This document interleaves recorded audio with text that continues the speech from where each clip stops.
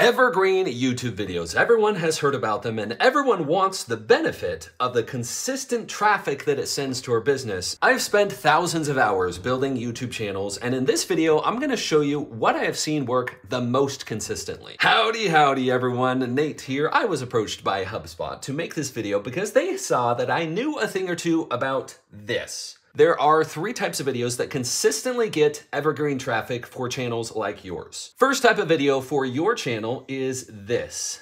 Guides. Now, at its core, a guide on YouTube is a video made for a specific audience looking to accomplish a specific outcome. They have a specific goal, a certain thing that they're trying to accomplish. Think how to pressure wash my driveway or have a consistently green lawn year round. The concept of guide videos is not new by any means, and I'm willing to bet that you watching this have watched at least one guide video in your lifetime. I would be very surprised if you hadn't done that yet. But the thing to know here is how you approach that guide video can determine how successful it will perform long-term as an evergreen video. When you're thinking of a potential guide video that you're going to produce for your business, I want you to think of it this way. We've got a pyramid here that represent the type of questions that your potential clients might have related to the niche that you're serving with your products. Okay, so we've got high-level questions, mid-level, and low-level questions. High-level questions are the types of questions that a lot of people are asking, and therefore the competition on these types of questions might be a bit higher. Now with these mid-level questions, these are the types of questions that they might want to know if they're a little bit further into being your ideal client. Maybe they've been educated a bit more, maybe they're further along in exploring how to accomplish this outcome that your business helps them accomplish. And therefore it goes to say that these low-level questions will have fewer people looking for them, therefore a smaller audience for a guide style of video, but they're also the types of questions that tend to have less competition and therefore can be more niche or perhaps an even better fit for your audience. Here's how I want you to look at it. Play in this space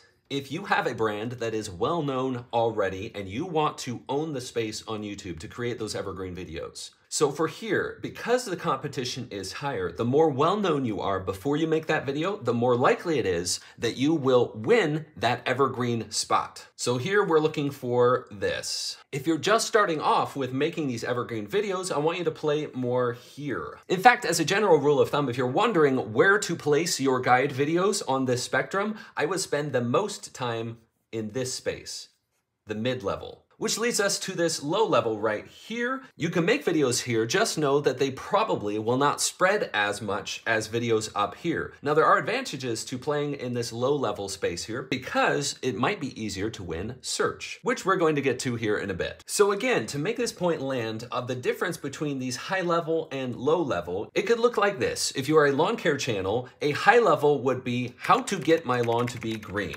Anyone who has a lawn is wondering, how do I get my lawn to be green? A low level question would be how to aerate your lawn in the Pacific Northwest. You can see the differences between those two questions. The low level is much more targeted, but if your ideal clients are wondering how to aerate their lawn in the Pacific Northwest and you provide a service for them in that area, Boom! Your video could win that space and establish that authority you're looking for with that specific targeted audience. All right, and it's time to move on to the next type of evergreen video here. I'm calling these the raw originality type of evergreen video. This type is the type that we most often think about when we think viral video or videos that we watch and we say, dang, that was a good video. I'm gonna go ahead and share that with my friend. This might not work for all business types and it might not be worth the effort for all business types, but when it's done correctly can be extremely successful. Let me give you some examples. Red Bull, if you've ever watched any of their videos, they have been absolutely crushing it on YouTube recently. And the crazy part about these Red Bull videos is it's often not immediately obvious that it is Red Bull. If you take a step back and look at what they're actually doing with these videos, they're making it about people doing cool stunts that happen to have Red Bull branding. It's not the other way around, and that is a very important distinction with what Red Bull is doing. Because you almost don't realize that it's a business-esque video until partway through because the enthusiasm for the stunts is what comes first.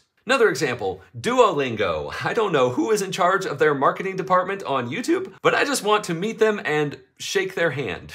Duolingo has done everything from memes to musicals. They're completely owning that brand because spread and originality is their game plan here. So here I've diagrammed how the evergreen traffic looks like on YouTube. A person will become aware of your raw originality YouTube video. They'll watch it, and if it's good, they will tell someone else about it, who will then hopefully go and watch the same video. And what this cycle does is very important for the YouTube algorithm. It does this. Authority is a word that I loosely use to describe what happens when the algorithm sees that a video is a good video for a certain audience, and if it consistently performs well for that audience, they will consistently promote that video, creating the evergreen cycle effect. Because the bonus here is if this original person or if a new person decides to then watch another one of your videos, you have created the coveted space of an evergreen channel. Because you've shown to the algorithm that you create the behavior where a person watches your video, they like it, they share it, someone else watches the video,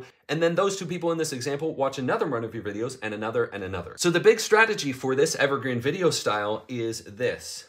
Brand association. If you make videos that have an idea or something that's very original and spreadable first that is associated with your brand, it's a great way to spread awareness. All right, and we've got the next evergreen style of video here, but first go ahead and like this video if it is being helpful to you. That allows this video to spread and potentially be more evergreen to other people that need to learn this. So thank you for doing that. Yes, we have come to search. If you've spent any amount of time on YouTube, you are aware that search is huge on the platform. The YouTube traffic engineers go through iterations of how they classify search, and this isn't an SEO or search engine optimization video. We could talk about that in another video. But what this is, is talking about the behavior of searchable videos for evergreen traffic. Let me show you what I mean here. There are three types of audience spread behavior that I see within videos. A fast burn is if you publish a video, let's say you publish right here, you publish and it gets an initial big spike, and then it kind of peters off and then maybe it drops down to a very low here. A slow burn is the type of video that it can start however it wants to with spikes, etc., but afterwards you start to see this happening with your views.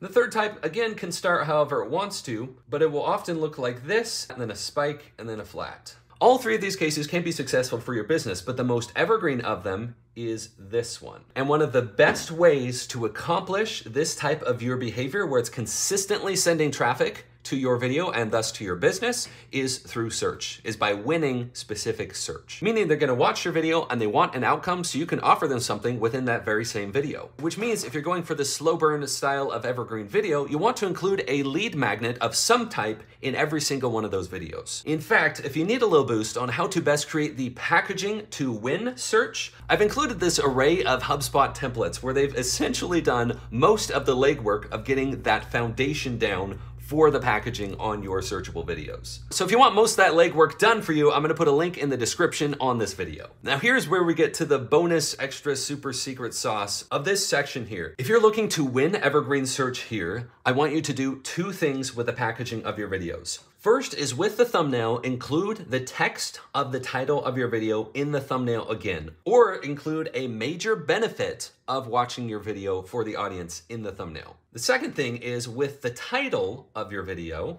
format it this way. First, what the video is, and second, the major benefit of watching that video for your audience. That comes from observing and testing thousands of YouTube videos and seeing that those are the types that tend to win search the most often. In fact, the next time you search for something on YouTube, why don't you check and see if they aren't formatted that way? So again, like I mentioned, if you want that massive array of HubSpot templates where they put in most of the legwork of producing this starting point for you, you can get it with the link below this video. It's totally free. And also, if this video has been helpful to you, you can watch this video next where I explain another very important concept.